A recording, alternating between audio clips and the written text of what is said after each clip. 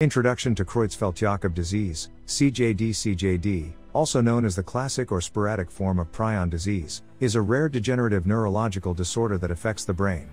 It belongs to a group of conditions called transmissible spongiform encephalopathies, TSEs.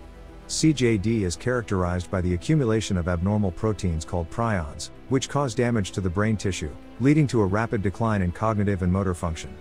In this script, we will explore various aspects of CJD, including its clinical presentation, diagnostic methods, pathological changes, genetic factors, different forms of the disease, management and treatment options, surveillance and reporting, recent research advances, and public health implications.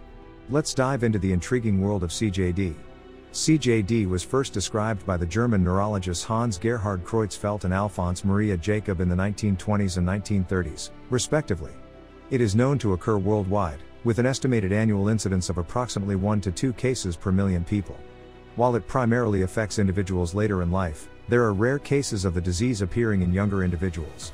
The exact cause of CJD remains uncertain, but it is believed to involve the misfolding and aggregation of the prion protein, resulting in the activation of a cascade of pathological events leading to neuronal death.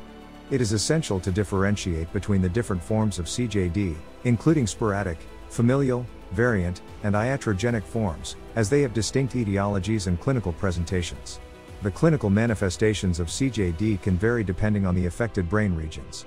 Common symptoms include progressive dementia, rapid cognitive decline, memory loss, personality changes, and impaired movement coordination.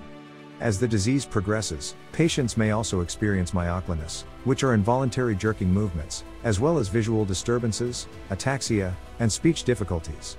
These symptoms typically worsen over weeks to months, leading to severe disability and ultimately death. It is crucial to recognize these clinical signs early on to facilitate timely diagnosis and intervention.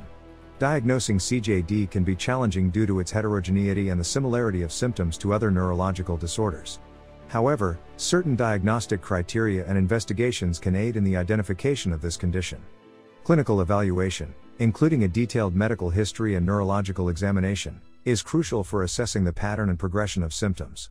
Neuroimaging techniques, such as magnetic resonance imaging, MRI, can reveal characteristic changes in the brain, such as cortical atrophy and hyperintensities in specific regions. Additionally, cerebrospinal fluid analysis, electroencephalography, EEG, and genetic testing can provide supportive evidence for CJD diagnosis. In some cases, brain biopsy or postmortem examination may be necessary for definitive confirmation. Histopathological examination of brain tissue remains the gold standard for accurately diagnosing CJD. The postmortem analysis reveals microscopic changes, including spongiform degeneration, neuronal loss, gliosis, and the accumulation of abnormal prion protein aggregates. These pathological features are most prominent in specific brain regions, such as the cerebral cortex, basal ganglia, and thalamus.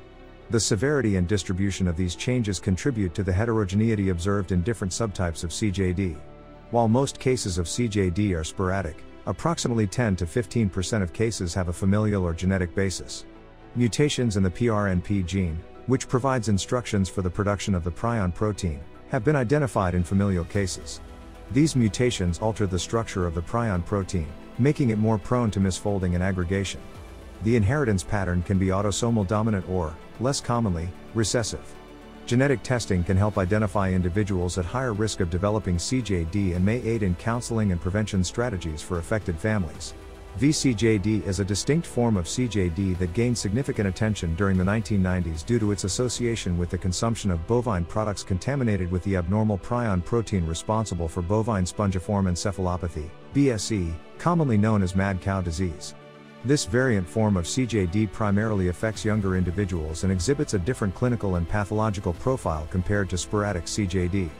The characteristic features of VCJD include psychiatric symptoms, prominent sensory disturbances, and a prolonged disease course. The link between VCJD and BSE raised concerns about potential zoonotic transmission and led to significant changes in public health measures and food safety regulations. Iatrogenic CJD refers to cases where the disease is transmitted through medical procedures or exposure to contaminated materials. Examples include the use of contaminated surgical instruments, corneal transplantation, and administration of human derived growth hormone derived from infected individuals.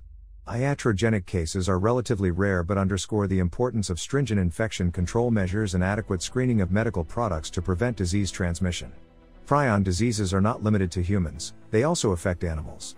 BSE is one of the most prominent prion diseases in animals, primarily affecting cattle. Ovine prion disease, also known as scrapie, is prevalent in sheep and goats.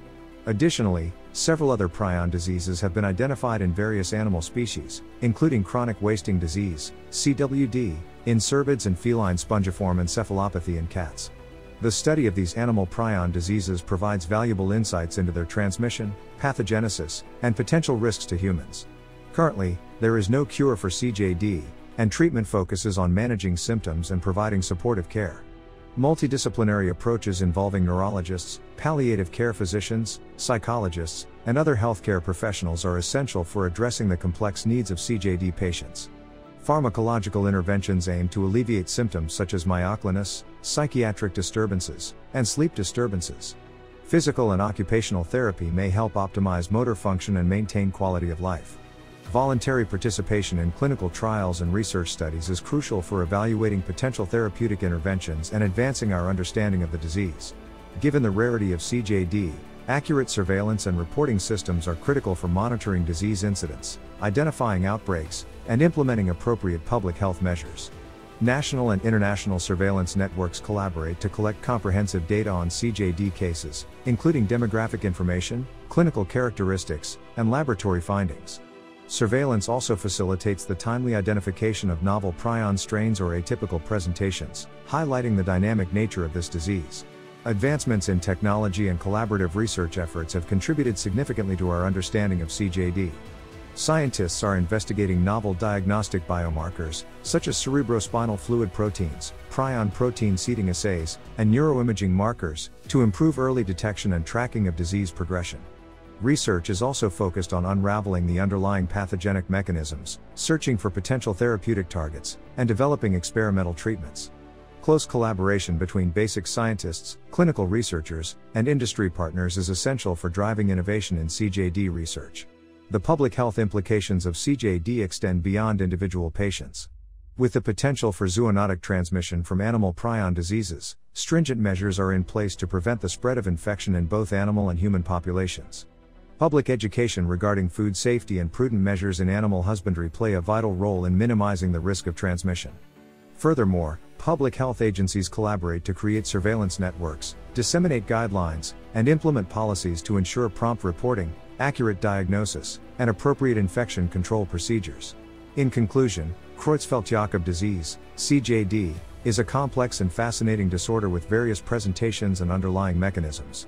Despite its rarity, the impact of this devastating disease on affected individuals, families, and public health cannot be underestimated. Continued research, early diagnosis, improved surveillance, and global collaboration are crucial for advancing our understanding of CJD, developing effective therapies, and implementing public health measures to mitigate the impact of this disease. As future healthcare professionals, it is essential to remain informed and vigilant about CJD and its broader implications.